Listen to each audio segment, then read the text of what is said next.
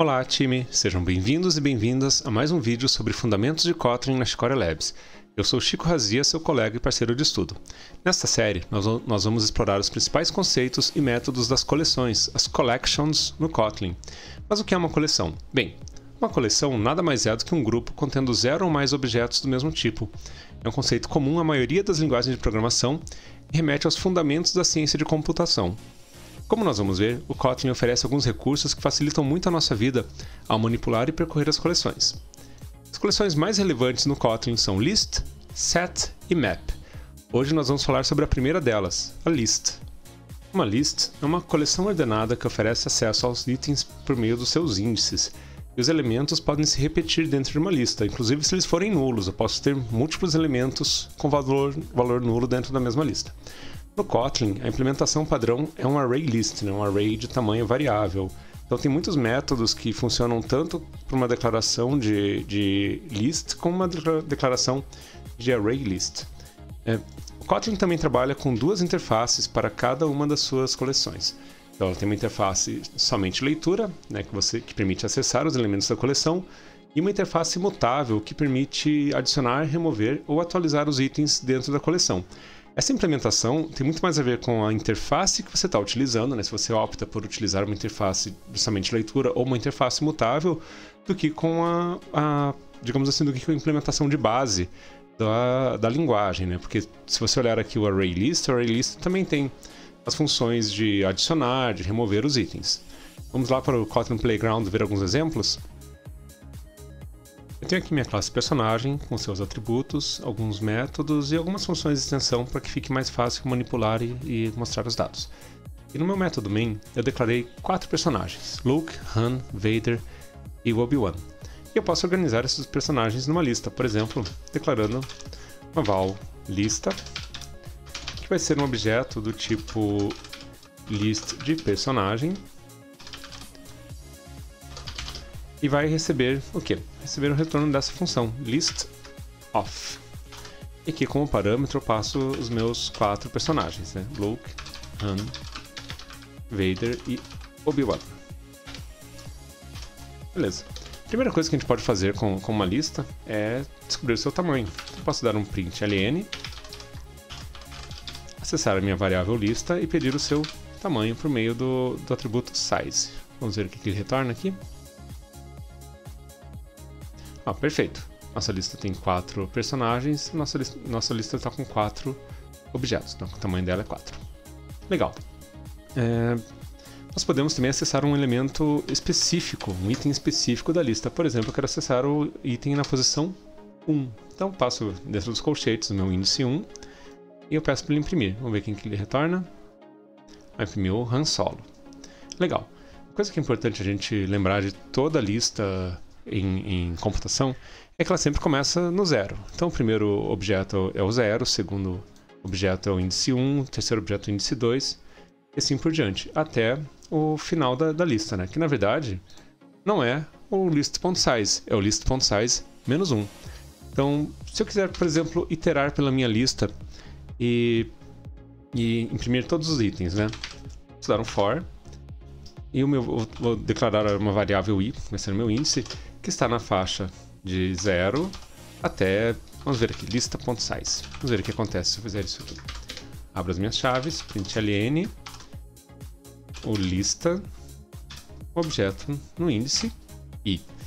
Vamos ver o que vai acontecer aqui. Olha só, ele deu um erro. Vamos entender esse erro aqui. Array Index Out of Bounds Exception lançou uma exceção. Essa exceção quer dizer que nós tentamos acessar um índice que estourou a nossa lista. Nós fomos além dos índices disponíveis na lista. Voltando aqui no, nossa, no, nossa, no nosso método main, o que, que, ele, que, que ele fez? Ele pegou a lista, ele acessou o índice 0, imprimiu o Luke Skywalker. Depois ele acessou o índice 1, imprimiu o Han Solo, aí o Darth Vader no índice 3 e o Obi-Wan no índice 4. Aí ele tentou pegar, desculpa, o índice 3. Ele tentou pegar o índice 4, caiu fora da lista e lançou um Array Index Out of Bounds Exception. E eu já cansei de tomar isso aqui por não tomar cuidado com a minha com os índices da lista. O Kotlin tem uma ferramenta que nos ajuda muito, a, ajuda a evitar esse tipo de, de erro. Então, quando eu declaro aqui na, no, no laço for zero com esses dois pontos, eu estou definindo uma range, né? uma faixa de inteiros, um int range. E a minha lista tem um atributo índices, que é justamente um atributo do tipo int range. Eu posso vir aqui, em vez de declarar 0 até o lista.size ou até o lista.size menos 1 para conseguir fazer isso funcionar corretamente, eu posso simplesmente dizer, olha, eu quero os is que estão dentro dos índices da minha lista. Vamos rodar e ver o que acontece? Olha que interessante, agora ele rodou perfeitamente, ele percorreu a lista, imprimiu os quatro itens, não lançou uma, uma exception e nós não tivemos que ficar nos preocupando se, ah, será que é, é 4, será que é 3, será que é o size, será que é o size menos 1? Então isso aqui é uma, uma facilidade muito interessante que o Kotlin nos oferece. Outra maneira bem legal de, de percorrer a lista de uma maneira ainda mais simples é usar a, a função forEach. Então, eu posso chamar aqui minha lista e passar a função forEach e eu abro as chaves. Dentro das chaves eu vou ter uma função lambda. Então eu vou ter um, um, um operador each é, subentendido aqui, que na verdade aponta para cada item da lista. Então posso fazer aqui um invocar um método println passando it como parâmetro. Esse it é um personagem dentro da minha lista, é um item individual dentro da lista. E olha que legal. Com só uma linha de código eu consegui fazer uma impressão, uma iteração para correr a lista e fazer essa impressão.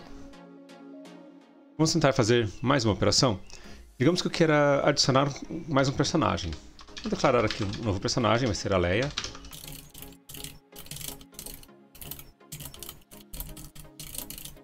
E agora nós vamos tentar... Vamos, primeiro vamos tentar trocar o personagem. Digamos que eu queira pegar o personagem que está na posição... Posição 1, o, o Han. Então, vamos aqui, lista, na posição 1, e tento atribuir a Leia. Vamos trocar a referência. Vamos ver o que acontece. Olha só. Ele não consegue, eu não consigo substituir, eu não consigo atualizar um, um objeto dentro da minha lista. Interessante, né? Então, o que eu estava tentando fazer? eu tinha um objeto RAM e estava tentando trocar pelo objeto Leia. É uma, realmente uma troca do personagem. Mas tem um outro atributo bem legal aqui. Por exemplo, eu posso pegar um objeto. Vamos pegar aqui o Darth Vader, o objeto que está na posição número 2. É, ao invés de substituir esse objeto por outro, eu posso aplicar uma transformação usando o apply, usar uma função de escopo. Se você ainda não conhece as funções de escopo, dá uma olhadinha nessa playlist que eu dou uma pincelada em todas elas. Então, aqui como se trata de um apply, o meu objeto de contexto é um objeto presumido, this. No caso, é, uma, é um objeto do tipo personagem. Então existe um, um this presumido aqui, e eu posso acessar o atributo nome e trocar o nome dele para Anakin Skywalker. Vamos rodar e ver o que acontece? Olha que bacana. Ele trocou o nome do Darth Vader e agora ele virou o Anakin Skywalker. Por que, que um funcionou e o outro não funcionou? Vamos pensar aqui. Quando eu criei a minha lista, essa lista mantém uma, uma, um conjunto de quatro referências. Uma referência ao objeto Luke, um objeto Han, um objeto Vader e um objeto Obi-Wan. É, eu não troquei nenhuma referência. Eu acessei o objeto Vader e mudei um atributo dele. Isso é possível minha, nesse, nesse exemplo porque a classe personagem possui atributos com valor mutável, né? Todos eles são, são variáveis. Mas isso é, uma, isso é uma questão intrínseca da maneira como o meu objeto é construído, né? Então, para a gente poder implementar uma, uma, realmente uma adição ou uma modificação da lista, a gente precisa usar outra interface. Voltando aqui na apresentação, veja que nós temos duas interfaces para cada uma dessas coleções. A nossa lista ela tem uma interface de somente leitura e uma interface mutável, e como eu falei, embora isso aqui seja um array list, o array list Java seja também uma coisa naturalmente modificável, que mexer o tamanho, trocar elementos, como ele foi implementada usando a interface list, eu não tenho como simplesmente trocar um objeto. Mas se eu quiser que isso seja possível, eu devo usar a interface mutable list. Então eu mudo aqui a minha declaração do tipo de lista e a minha função de inicialização da lista passa a ser mutable list of. Atenção, tem um L maiúsculo aqui, entre o mutable e o list. Beleza. Vou apagar essa, essa modificação aqui do, do objeto da posição 2 e nós vamos tentar fazer novamente a operação de inserção. Então, lista.add.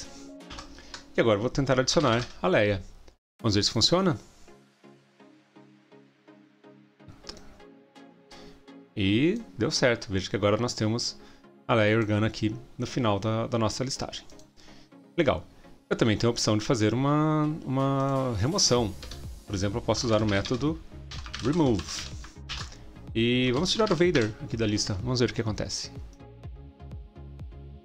Agora nós temos a Leia Organa. Nós não temos mais o, o Darth Vader.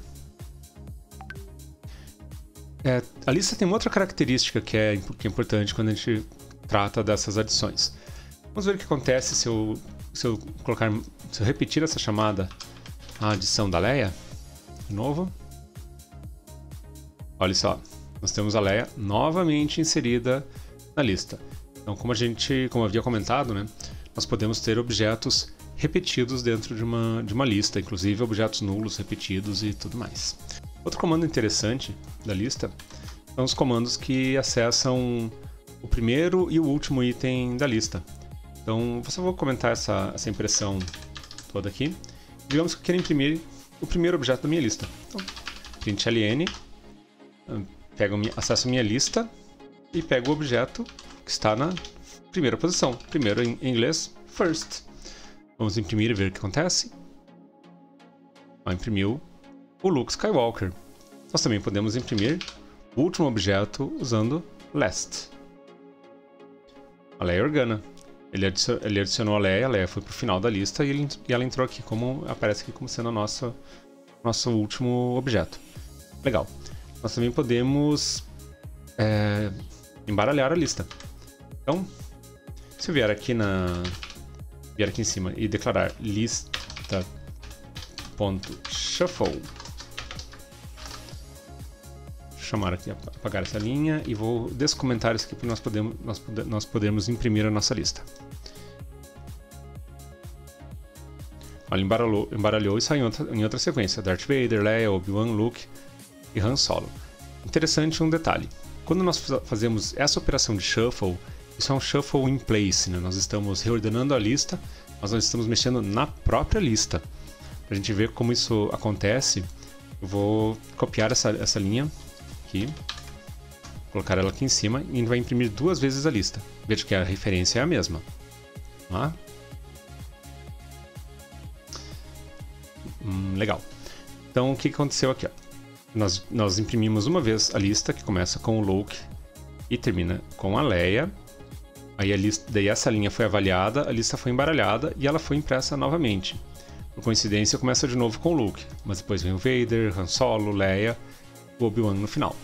Então nós embaralhamos a lista, mas é a própria lista que nós tínhamos como, como referência. Existem outras maneiras de, de faz, fazer manipulações que retornam uma cópia da lista, mas isso a gente vê no, no próximo vídeo.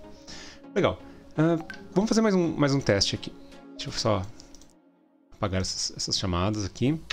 E eu tenho uma lista aqui com esses, com esses elementos. vou declarar uma segunda lista, lista 2. Também vai ser uma mutable list de personagem. Mutable list of. E vou passar os, os, mesmos personagens, mas vou passar numa sequência diferente.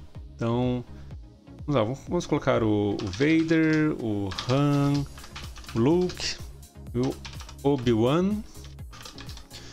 E eu vou tirar a Leia aqui, tirar essa, essa adição da Leia aqui. Beleza, então nós temos duas listas. Elas têm os mesmos objetos. Será que essas listas são iguais? O que, que vocês acham? Vamos lá, vamos, vamos ver o que, que, que acontece aqui. ln uh, lista. Será que a lista é igual a lista 2? Vamos rodar e ver o que acontece. Opa, falso. Por quê? Que que, o critério de igualdade da lista é não só ter os mesmos, ter o mesmo tipo, né, o mesmo tipo de objeto, mas possuir os mesmos objetos, ou seja, para cada objeto que está presente em uma lista, ele tem que estar presente na outra lista, mas ele também precisa estar presente na mesma sequência. Como a lista retém a sequência de inserção, eu posso modificar aqui, ó, mudar a sequência de inserção. E agora é muito provável que ele retorne que as listas são iguais. É isso aí. Agora nós temos duas listas idênticas. Por quê? Porque nós temos a mesma quantidade de objetos, os mesmos objetos, na mesma sequência, inseridos na mesma ordem. Uma outra função que nós temos quando, quando se tratam de listas é descobrir o índice de uma, uma, posição de um elemento na lista. Eu vou apagar essa, essa referência à, à, nossa segunda lista aqui, Shift Del, e digamos que eu quero saber qual é a posição do objeto Vader dentro da minha lista. Vou dar um print ln, acesso a lista ponto, e, e uso a função indexOf, passando uma referência do objeto. Claro, um objeto que seja compatível com o objeto que está dentro da, da lista. Então, se quiser saber qual é a posição do Vader aqui, ele faz o comando e ele me retorna 2. Ou seja, o Vader está na posição 2 da minha lista. E só para concluir nossa, os nossos objetos principais, vamos dar uma olhadinha nas possibilidades de ordenação da lista que nós temos. Nós passamos pela função, rapidamente pela função shuffle, né? Mas vamos fazer o seguinte, vamos, vamos povoar um pouquinho mais a nossa lista.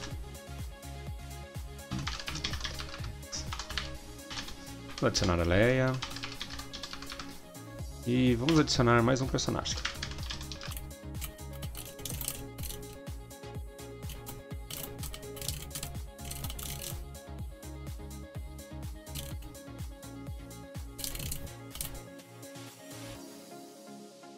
Beleza. Não vou errar o nome da fragata, senão os nerds do Star Wars vão vir atrás de mim, né? Legal. Então agora, o que, que a gente vai fazer? Nós vamos imprimir a nossa lista. Vamos iterar por ela usando a, nossa, a função forEach.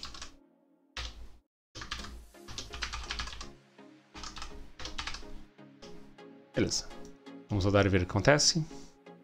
Maravilha. Então tem o Admiral Akbar e tem a Leia Organa. Agora quero ordenar a minha lista.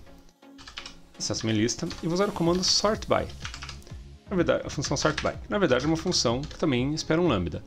Que, que, que eu preciso fazer aqui?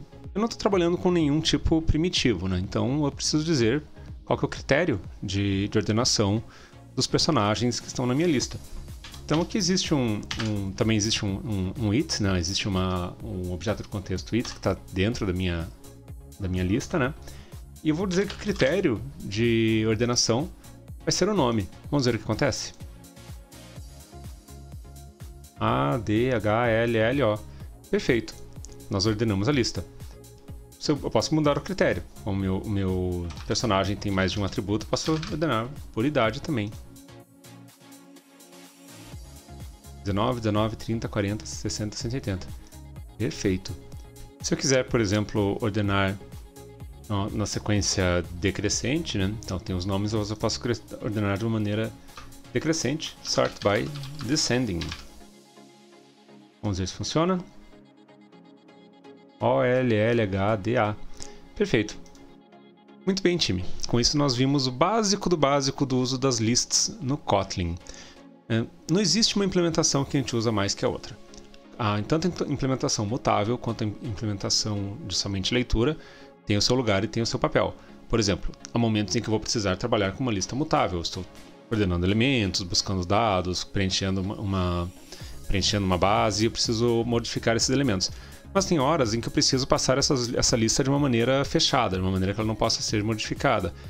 Por exemplo, quando eu recebo os dados do repositório e alimento uma outra, uma outra interface, exponho esses dados, é, existem momentos em que poderia ser perigo, em que é perigoso ter uma lista mutável que possa causar crashes de aplicativo se os dados forem, forem modificados. Muito bem.